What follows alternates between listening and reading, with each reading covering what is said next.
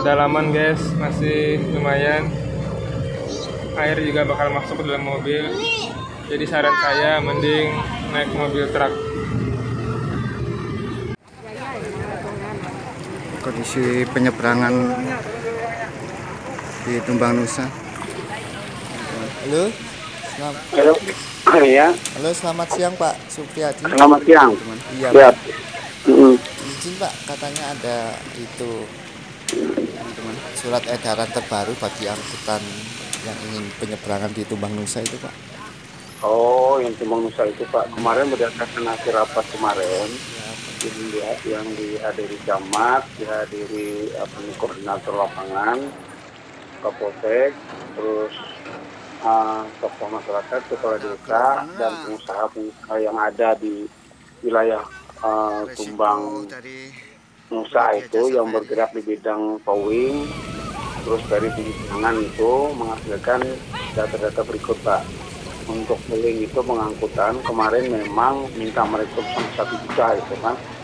Nah kita, kita bilang bahwa wilayah itu sangat sangat sangat sedikit sekali. Jadi mohon jangan sampai masyarakat meninggikan lagi karena ini transportasi menuju Palangkaraya untuk untuk berkenaan dengan uh, hajat hidup orang banyak. Saya bilang yang berdasarkan kesepakatan itu untuk towing itu sekitar dua dua ratus lima puluh ribu pak. Iya, betul.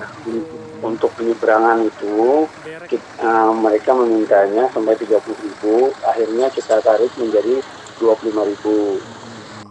Untuk ferry yang uh, tradisional tuh karena nggak nggak pakai tenaga kan pakai tenaga manusia aja. Iya, iya. Nah, yang ketiga yang berkenaan dengan tarik mobil yang mogok-mogok itu sekitar 150 ribu per mobil. Nah, terus untuk orang, orang ini sekitar 10 ribu per per orang. Namun apabila barangnya banyak, itu dikenakan 5 ribu tambahan 5 ribu Pak. Nah ini bukan ke- bukan keputusan kepala dinas, bukan keputusan perhubungan, tapi berdasarkan berita acara kesepakatan yang telah dirapatkan kemarin tanggal 21 kemarin di rumah ya, di rumah kepala desa Tumbang Nusa Pak. Nah, Berarti itu kesepakatan semua unsur yang ada di Tumbang Nusa itu Pak ya. iya, nah, itu sudah saya laporkan juga dengan pimpinan Pak Kapolres. Nah, dan kita sudah sampaikan ajaran itu gitu kan bukan ke pihak kita dinas perhubungan gitu kan. Tapi untuk bagaimana meringankan masyarakat karena ada kadang-kadang ada yang berlebihan Pak. Betul. Daripada itu.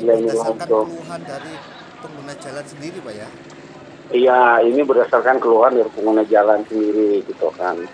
Saya bilang pada teman-teman janganlah menari-nari di atas luka teman-teman yang ada menggunakan jalan ini gitu kan. Mereka ke Palangkaraya pun ke Gunung Mas sebagainya itu kan melalui sini karena kebutuhan yang mendesak, ada yang sakit, ada yang kena pekerja itu kan dan dan lainnya gitu kan. Itulah makanya atas kesepakatan itu ya itu Nah, nilainya segitu Pak. Bukan kita mengada-ngada itu memang kesepakatan bersama gitu kan Pak. Ya, Siap. Pak, ya. Terima kasih Pak Kadishub Pulang Pisau Iya, siap. atas waktu siap. sudah memberikan yang terbaik bagi semuanya. Amin Pak. Terima kasih Pak. Selamat siang Pak. Selamat siang. ya.